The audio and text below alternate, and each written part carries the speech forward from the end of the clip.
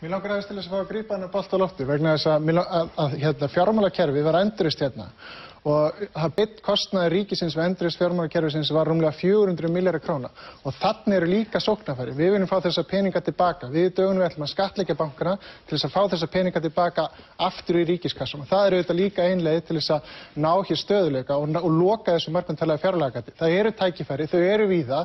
Þetta er bara spurningin um að taka ákvörðunum um að fara út og sækja þetta fyrir.